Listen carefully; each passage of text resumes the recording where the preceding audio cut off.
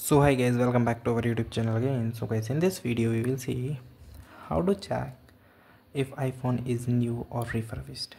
Okay? So guys for checking these things we have the various method. Okay? So guys let's start how we do it. So guys first of all you try to check for the physical condition. Okay?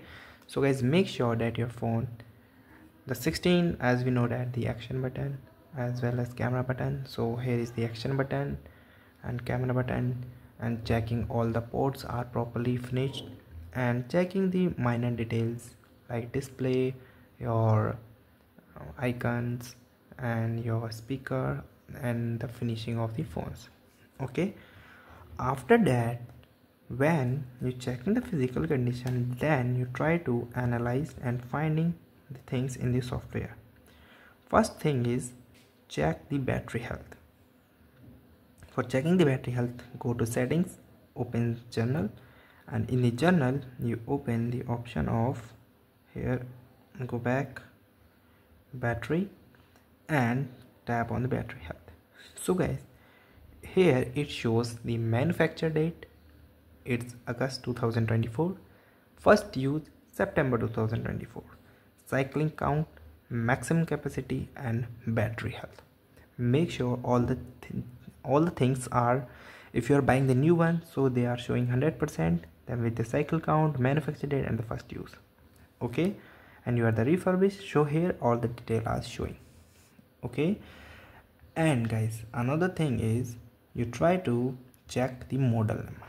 For checking the model number you go back again go back and tap on the general. Here is the software update sorry here is the uh, about section. And make sure that your model number match with your box. Okay? So guys here you see my model number is mymw and serial number is this.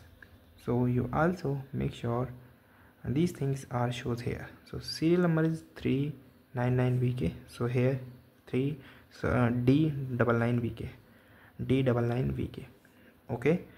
And another thing which is the most important thing that your m okay? So guys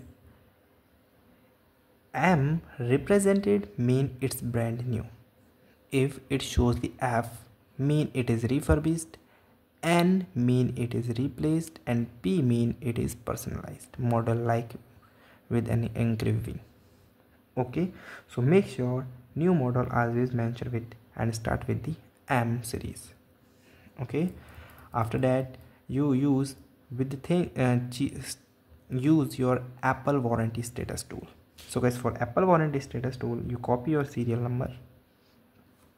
Okay? When copy your serial number then go to your uh, safari.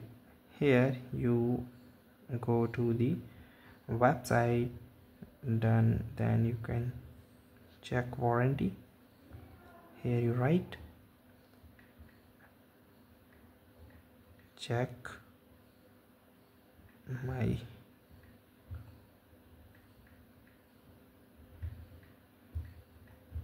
a double okay then tap it and check coverage. And here you enter your serial number. Just tap it paste it. And your CTRE then submit and here is all the detail about my phone.